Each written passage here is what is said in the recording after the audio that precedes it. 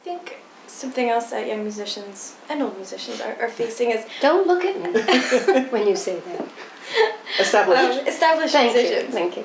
uh, is so many things are very expensive and trying to figure out what to spend money on uh, the recordings do you need a pr person uh, do you have any recommendations for Yes. maybe where money could be well Yes. spent Yes.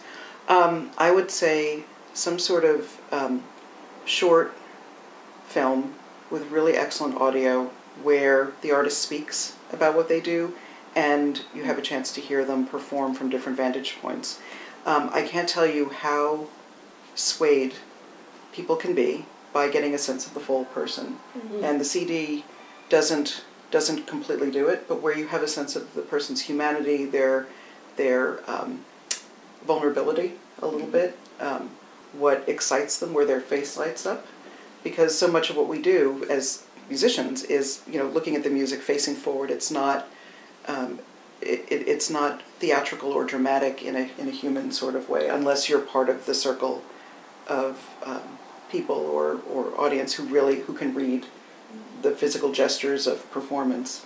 Um, I think for many for many people who present uh, performances, having a sense of the full person again helps them describe this and engage audiences around them, and frankly, also use that as a promotional tool.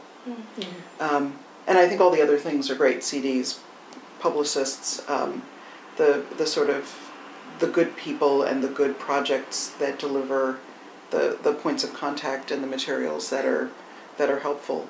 But film and video is is the language, and the best um, investment. I, I I've literally seen uh, panels switch decision based upon. Um, Seeing. mhm. and how long would you suggest for a video like that i mean I would say three five- minutes. oh three minutes Yeah. so just something short something short, and I mean having something in a shorter format and then a longer format.